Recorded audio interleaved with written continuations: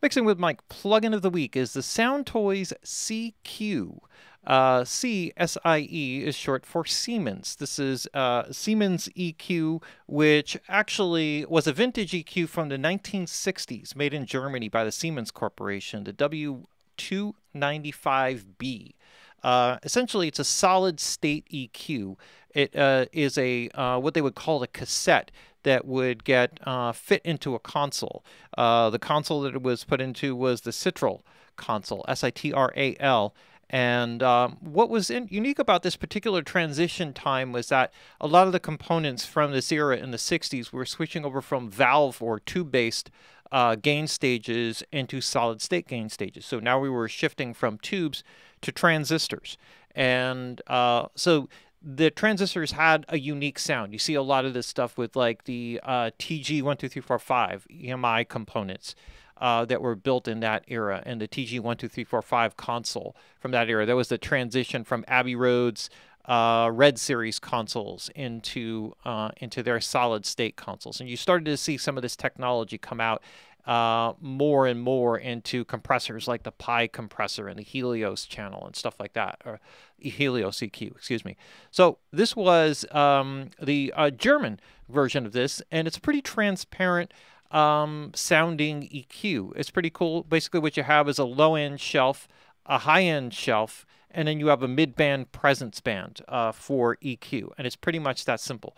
Um, now, Soundtoys does not release a ton of plugins, so when they do come out with something, it's actually it's usually uh, all their stuff is really amazing and it's always really cool. So I'm going to zoom in here and we'll kind of focus this. I just have this right on the mix bus, but I want you to hear a little bit of it. And there's also a drive control and we'll take a quick look at that. So now the low end, they don't really give you frequencies. It ends up being somewhat of a kind of a, um, a broad slope to a center point that probably ranges in the 100 cycles down to 50 cycle range. So it's leaning much more towards the bassy end.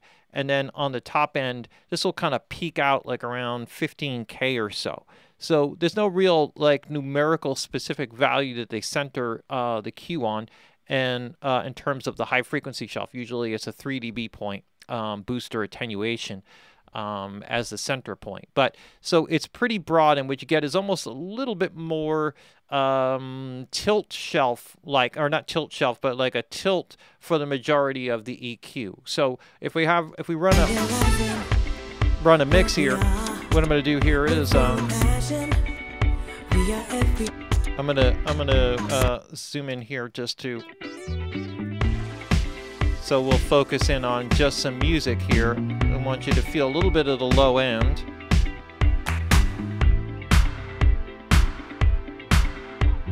Like a real nice, real nice warmth on the bottom end without it being too excessive. Like really powerful. Then to balance it off, we have a nice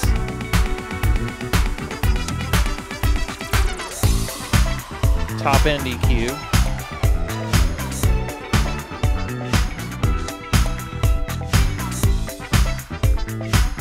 And then you have a nice, cool kind of mid band. And you have selectable frequencies here 700, 100.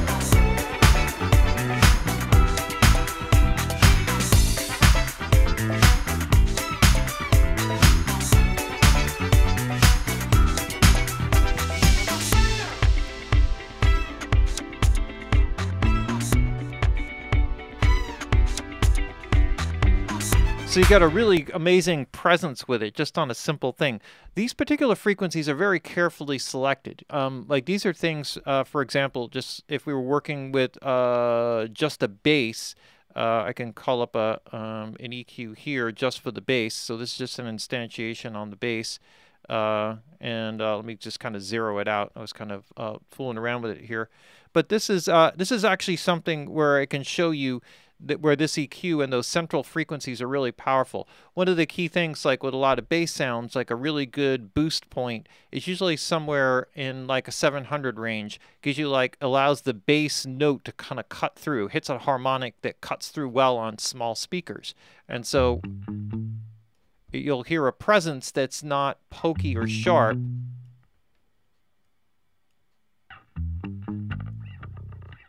Whereas you start to go up higher in frequency, right? You start to get more string noise and that type of thing.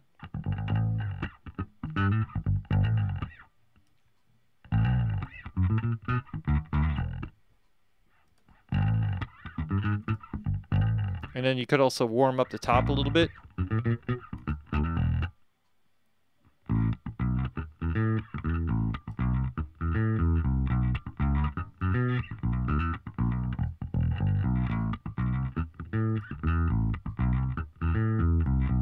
Right? And there's something mm-hmm. that's really rich about the low end that doesn't ever get muddy, muddy.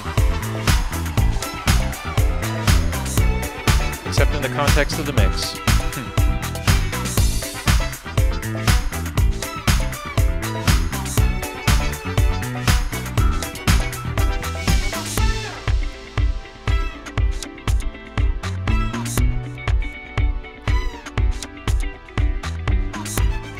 So you can hear how that kind of cuts through. And then as you start to get onto instruments like guitars and keyboards and stuff like that, these mid-range frequencies become good focus points to find a place in the mix to kind of pull them in. So it's the, it's not without thought. Now, a lot of the, these console and the design of these components were originally for broadcast purposes, and that's a lot of what the Siemens uh, work was at that particular time. They designed broad, designed broadcast consoles. Um, and this is the cassette cartridge that kind of fits fits into this. The one thing I wanted to just kind of show you here is that there is also an engine uh, for this. I'm going to take this out just to kind of keep the context of the mix here. Also, I still had this on. Um, what I'm going to do is I'm going to bring up a, a, gain stage here, just a simple uh, output trim. And the reason for this is that what we have um, with the EQ here is we have uh, a drive stage at the output, but I'm going to want to counterbalance this output with um, uh, with something on the output stage. So here, if I, if I bring this down, uh, say 6 dB, then uh, what we can do is uh, we can uh, take a listen to this and hit the drive here on this a little bit higher.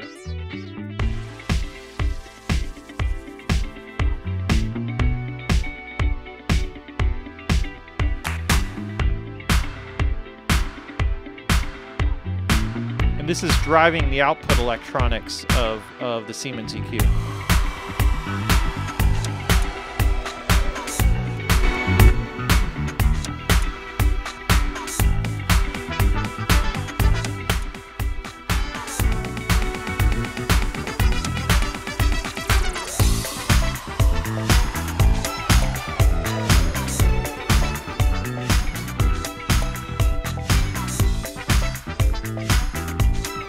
Could start to hear the distortion kind of come in a classic solid state distortion.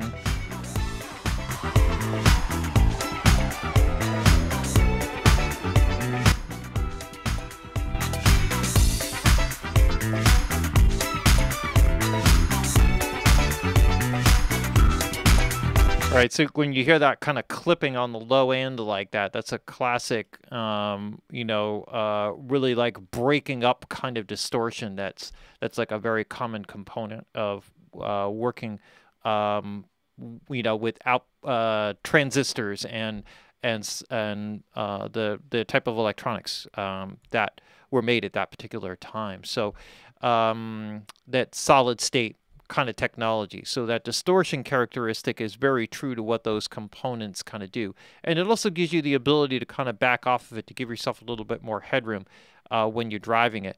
But it's really cool. I've never worked with the original hardware, so I can't uh, speak to the quality of the emulation and how similar it is to the original, but pretty much uh, Soundtoys has a, a, sterling reputation for making some really unique and, and amazing sounding tools and great emulations. So uh, I fully uh, trust that this is cool. And it's great, especially for that low end and that top end uh, and that mid range. Really powerful in its simplicity, uh, just uh, sonically and uh, and its role in any mix. So there you have it. Very cool one. It's the Siemens Q or the Sie-Q from Sound Toys. and that is the Mixing with Mike plugin of the week.